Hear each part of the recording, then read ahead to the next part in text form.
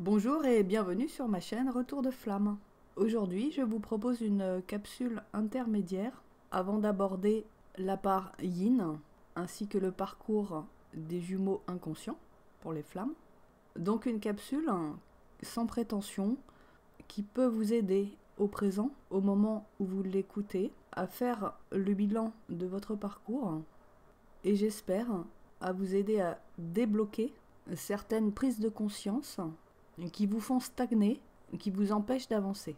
C'est en effet très difficile de pouvoir se situer avec certitude sur un parcours d'éveil parce qu'il est propre à chacun et qu'il n'existe pas de mode d'emploi.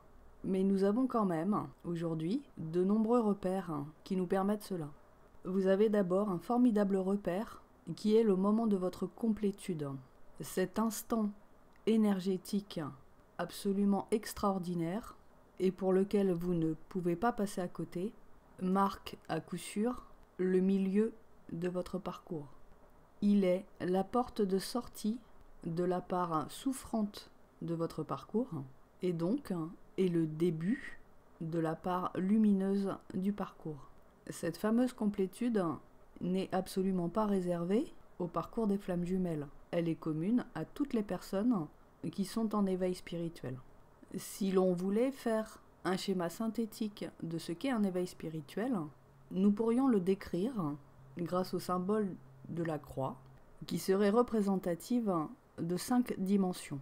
Et oui, c'est exactement l'aboutissement de l'éveil spirituel aujourd'hui, c'est l'accès à la cinquième dimension. Donc, une première sphère que nous allons explorer, c'est la dimension yang, la dimension de notre monde qui serait la partie axiale verticale basse de la croix. Cette sphère yang, largement développée, s'explore au travers du mental, des mémoires, de la compréhension et débouche au final, lorsque son exploration est achevée, par la sortie du triangle de Karpman que j'ai développé dans la capsule précédente, ainsi que par la guérison des cinq blessures fondamentales de l'âme et donc par la guérison de l'ego. Cette première sphère d'exploration vous ramène au centre de la croix, qui est le cœur, l'élément feu de nos cinq dimensions. C'est la flamme. Ensuite, il y a la sphère yin, que nous explorons également, qui serait l'axe vertical haut du symbole de la croix, et donc la partie intangible, la partie yin, ou l'élément ciel. L'exploration de cette sphère yin vous emmène, elle, à développer toutes vos facultés énergétiques, sensorielles, et si vous parvenez jusqu'au bout, c'est dans cette sphère yin que vous pourrez atteindre l'illumination ou le savoir universel. Celle-ci marquera la fin de l'exploration de cette sphère et vous renverra au centre de la croix, dans le cœur. Il nous reste donc deux autres sphères à explorer pour compléter ce parcours d'éveil. Un axe horizontal gauche que l'on pourrait symboliser comme étant l'élément eau, symbolisant le baptême, la renaissance, la naissance, ainsi que la purification. Ainsi, en explorant cette sphère gauche, nous serions amenés à l'exploration de notre karma, la compréhension de notre passé, la compréhension également des effets miroirs, ce qui nous amènerait naturellement, à la fin de l'exploration de cette sphère, à purifier notre karma, ainsi qu'à comprendre ce qu'est le temps. L'aboutissement de l'exploration de cette troisième sphère nous permet d'aborder le temps quantique et d'avoir les outils nécessaires pour reprogrammer les mémoires négatives en mémoires positives, pour en revenir de nouveau au cœur. En dernier lieu, la quatrième sphère, qui serait l'axe horizontal droit, serait symbolisée par l'élément R représentant l'espace, le silence, les potentialités futures.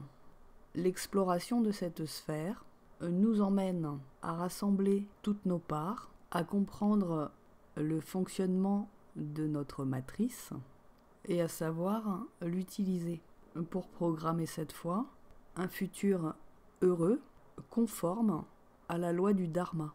L'aboutissement de l'exploration de cette sphère, c'est la découverte de votre mission de vie et la mise en place de celle-ci. Et cela vous ramène, une fois encore, au centre de la croix, qui est le cœur. Cette cinquième sphère, le cœur, symbole du feu et de la flamme, c'est la découverte de votre origine et de votre destination. Et c'est également votre centrage, le moment présent qui ouvre tout le champ des possibles. C'est votre complétude aboutie dans la connaissance parfaite de l'être, animé par ces quatre forces, la terre, le ciel, l'eau et l'air.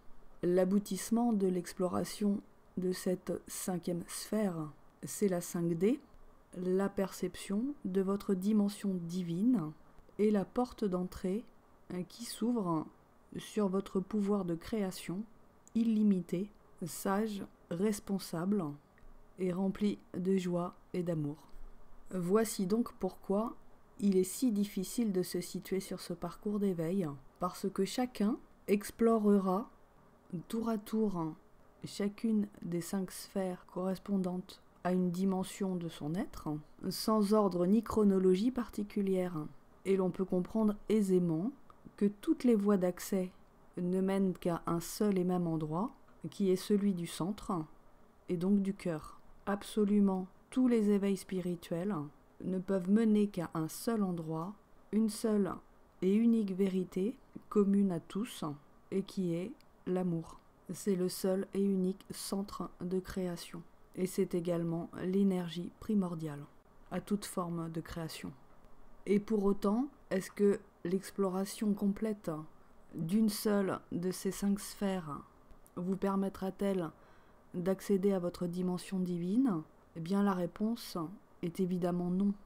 Toutes ces forces travaillent ensemble et ne peuvent être en dissonance. Le corps humain est parfait et est en équilibre lorsqu'il est constitué de deux jambes, deux bras, une tête et un cœur. C'est le symbole de la croix et c'est également l'homme de Vitruve, parfaitement exécuté par Léonard de Vinci, qui résume à lui seul tout cet enseignement sur l'équilibre des cinq forces. Donc, pour en revenir à nos parcours d'éveil et aux indicateurs qui vous permettront d'en faire le bilan, eh bien, on peut aborder les choses en deux temps, le temps d'avant la complétude et le temps d'après la complétude.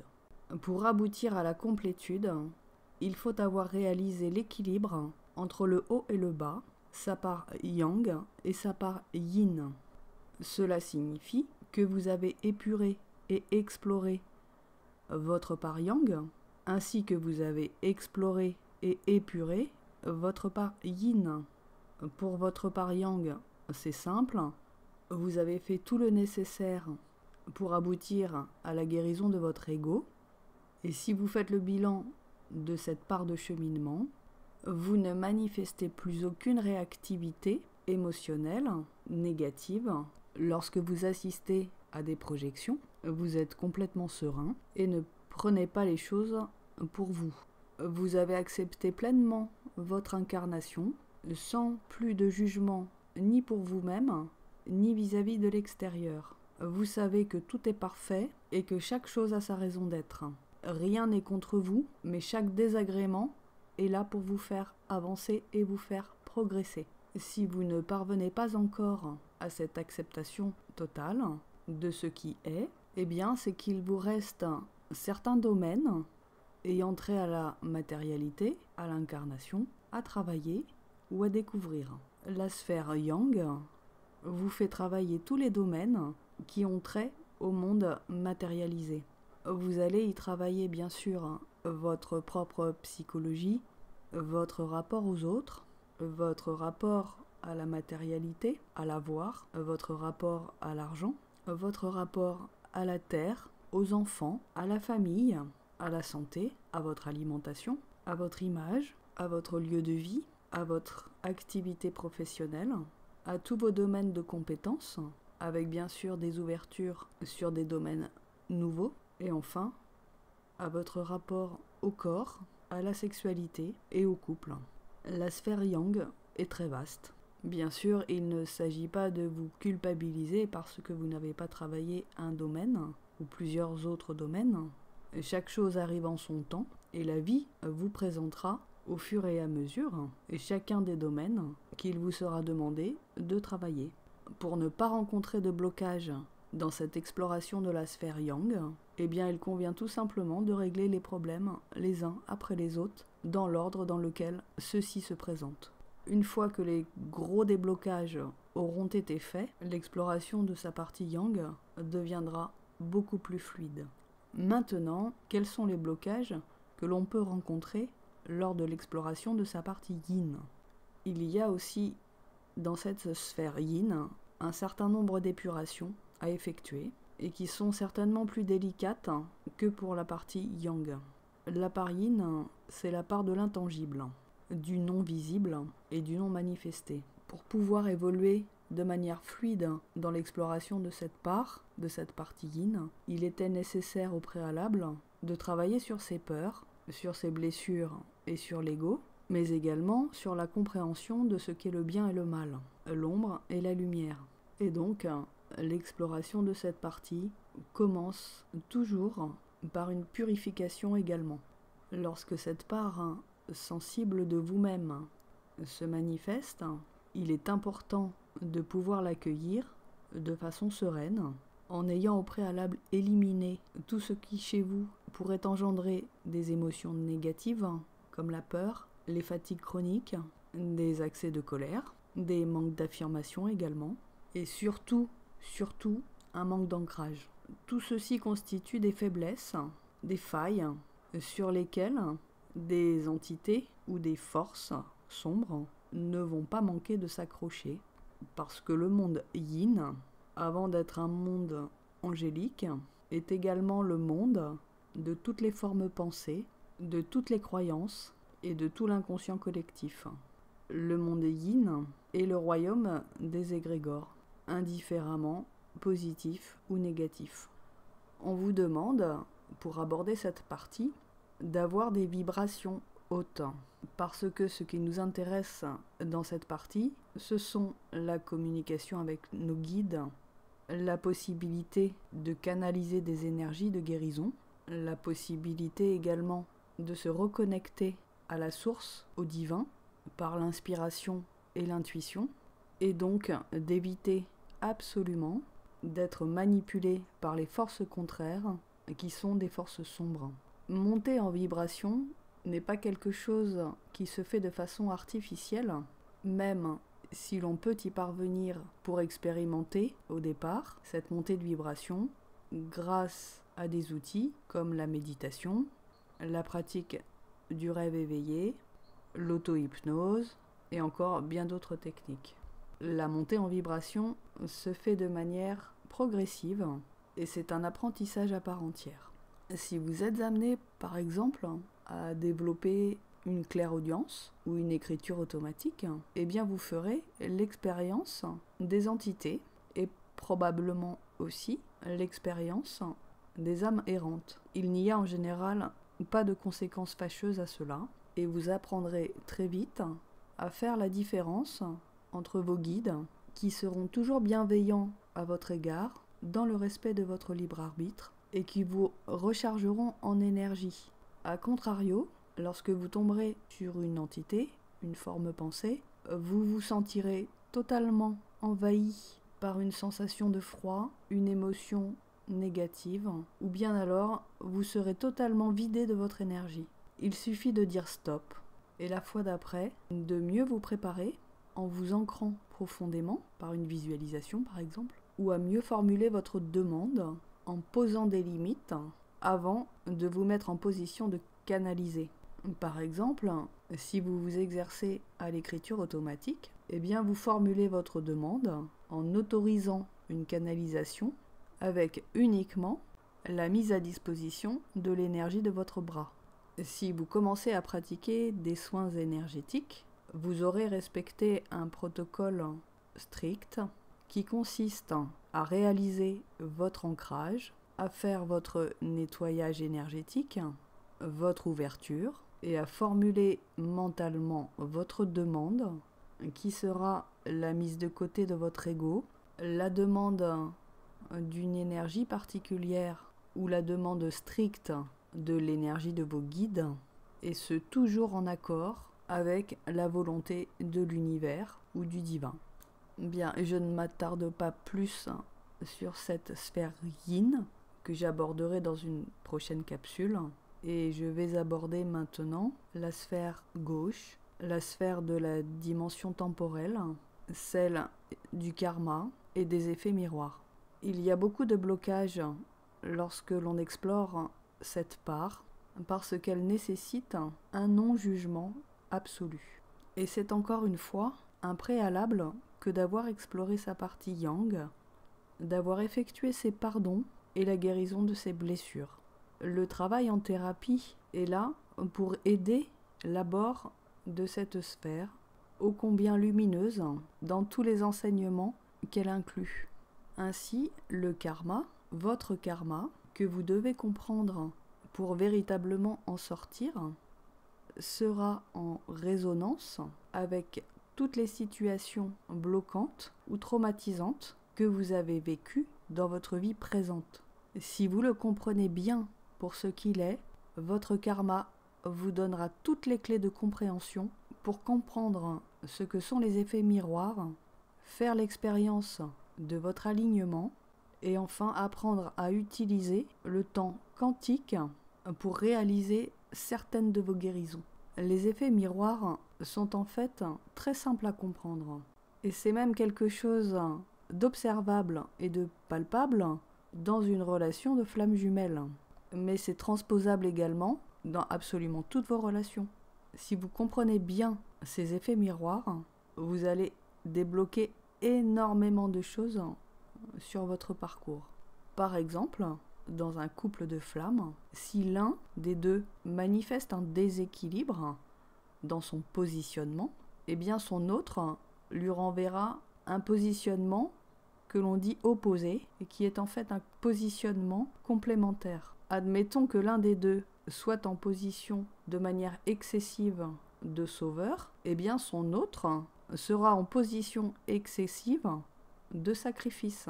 Si l'un se positionne de manière excessive comme un bourreau, eh bien son autre, de manière excessive et par réponse, se positionnera comme une victime.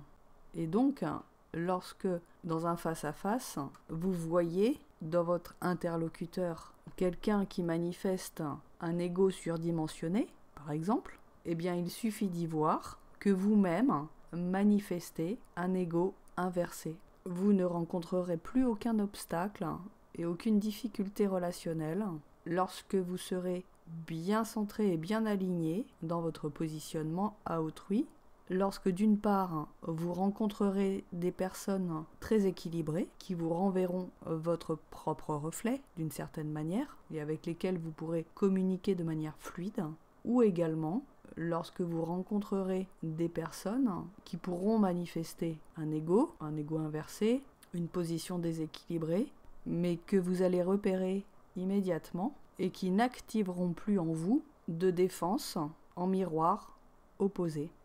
Ce que les jumeaux d'âme apprennent entre eux, c'est précisément à repérer dans son autre ses propres manifestations inconscientes.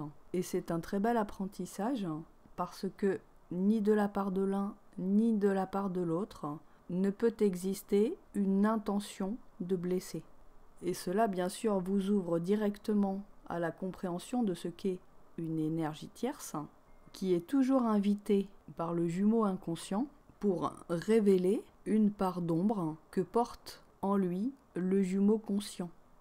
Et ceci n'a qu'un seul but, un seul objectif, c'est de permettre la guérison du karma.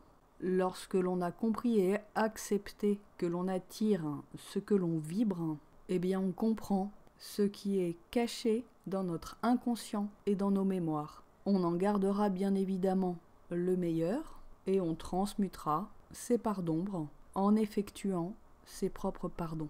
Et bien sûr, en modifiant son positionnement. Sortir du karma, c'est devenir observateur de soi-même, se désidentifier de son rôle, qui n'est qu'un rôle, et se positionner de manière affirmée et bienveillante dans toutes ses interactions avec autrui.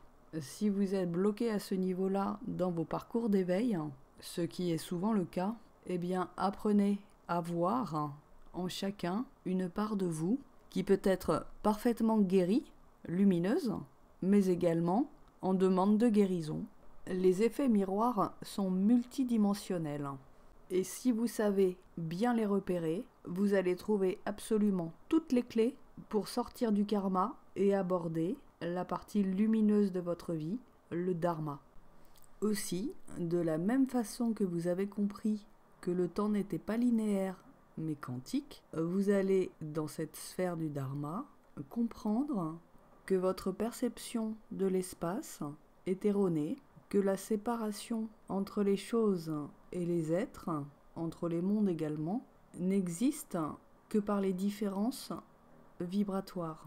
Vous pouvez ainsi créer à votre convenance différents espaces, des espaces de silence, des espaces de paix, des espaces d'amour également, que vous pouvez déplacer à l'endroit précis où vous posez votre attention.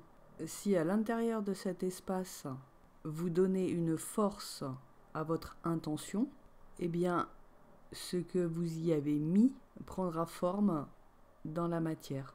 C'est ainsi que l'on procède lors des soins énergétiques à distance.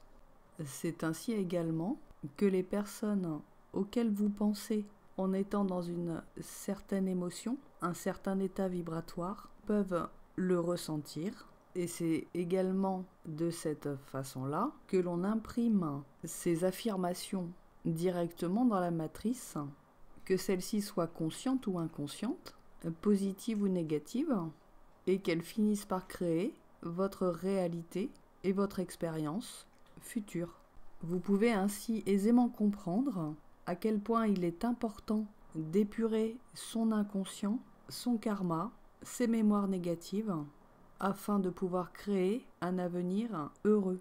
Dès lors que vous aurez fait le choix et affirmé que vous êtes heureux en vibrant en même temps cette émotion de bonheur, et si vous savez garder le cap et mettre une force à cette intention, eh bien, lorsque vous aurez lâché prise sur la forme que prendra votre vibration, tout ce qui arrivera sur votre chemin ne seront que des étapes pour accéder à la réalité de votre bonheur.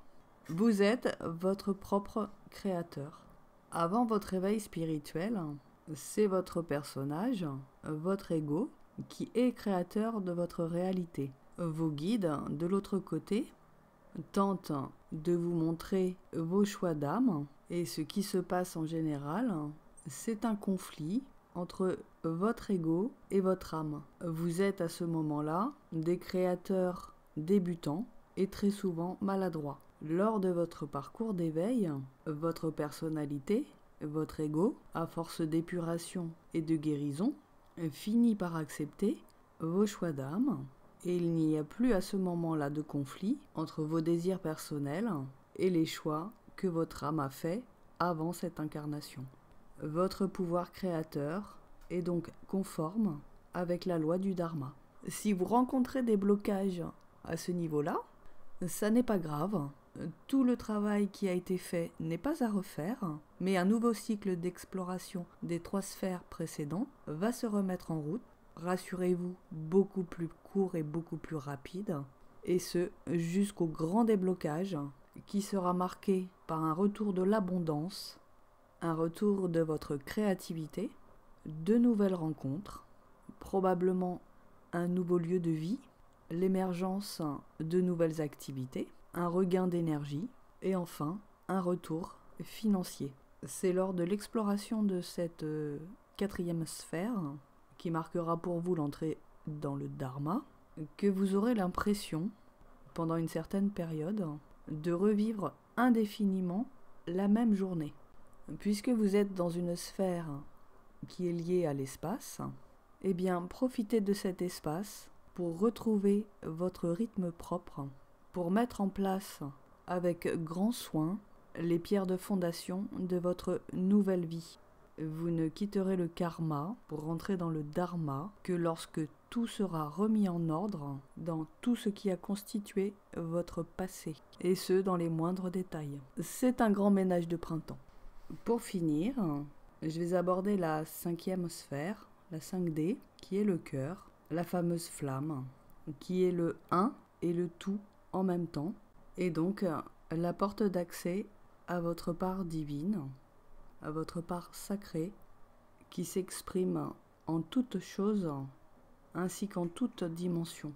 Cette 5D, ce cœur, c'est un état vibratoire, le plus haut et le plus puissant qu'un corps humain préparé puisse supporter. Vous en avez un avant-goût lorsque vous faites l'expérience de votre complétude et n'aurez de cesse par la suite que d'essayer de retrouver cet état vibratoire parfait qui est nourrissant, guérissant et créateur de votre plus belle réalité. Et c'est exactement grâce à cette vibration et à son intensité qui sera perçue par toutes les âmes avec lesquelles vous avez des liens. Et bien sûr pour les flammes, ce sera le signal perçu par votre jumeau jumelle inconsciente et qui marquera son retour pour entrer dans la phase de réunion. Lorsque vous avez la perception en vous-même de cette vibration, vous pouvez également avoir des pensées pour toutes les personnes que vous aimez, toutes celles également que vous n'aimez pas, et cela agira sur toutes comme un feu purificateur de vos liens et des changements positifs arriveront directement dans votre vie. C'est également grâce à cette vibration et à son intensité que vous pouvez désarçonner absolument toutes les énergies tierces qui bloquent votre vie. À partir de votre réunion pour les flammes, vous allez retrouver cet état d'être progressivement et vibrer à l'unisson et de plus en plus intensément au fur et à mesure que vous parviendrez à bien aligner votre flamme. C'est cet état d'être qui vous emmènera à la fusion, laquelle, je pense, parce que je ne l'ai pas encore expérimenté, sera la croissance de cette double flamme en intensité et en rayonnement. Il ne peut y avoir d'obstacle majeur dans cette dernière sphère, parce que cette vibration, une fois atteinte, est un feu sacré, absolument indestructible, indétournable et inapprochable pour l'ombre. Toutes les flammes jumelles sont guidées jusqu'à cette étape de la fusion, tout simplement parce qu'au moment de la reconnexion, les deux parties d'âme qui n'en forment qu'une se sont mises à vibrer avec une telle force et une telle intensité qu'elles auront imprimé dans la matrice cette volonté de fusion. Nous avons quitté l'ère du poisson, qui était marquée par l'expérimentation de l'amour sacrificiel, pour rentrer dans l'ère du verso, qui lui sera l'expérimentation de l'ère de l'amour inconditionnel. Les flammes jumelles ont toujours été incarnées ensemble durant les phases de changement d'air, car ce sont elles qui ouvrent les voies les premières. Ce sont leurs contrats d'âme que de venir expérimenter en premier toutes les formes d'amour possibles et en laisser leur témoignage qui sont les points lumineux, les points de guidance constituant la trame de fond du plan divin. Lorsque toutes les flammes abouties mettront en concordance toutes leurs découvertes, eh bien les voiles seront levés pour l'ensemble des âmes humaines qui pourront à nouveau expérimenter et profiter d'un nouvel âge d'or. Voilà, cette capsule se termine, un petit peu plus longue que d'habitude. J'espère qu'elle vous aura apporté des réponses, une guidance constructive.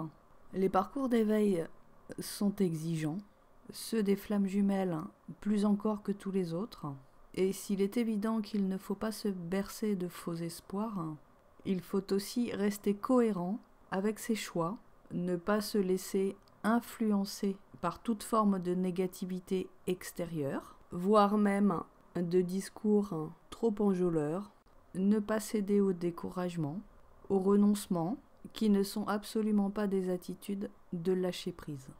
Tout ce qui se passe pendant la période d'éveil spirituel n'est qu'une étape d'enseignement, comme une sorte de retour à l'école de la vie, et dont on sort libre, nouveau, ressuscité pourrait-on dire, et reconstruit pour retourner à nos vies humaines avec un tout autre regard. Je vous remercie de m'avoir écouté, je vous souhaite le meilleur et je vous dis à très bientôt pour une nouvelle capsule.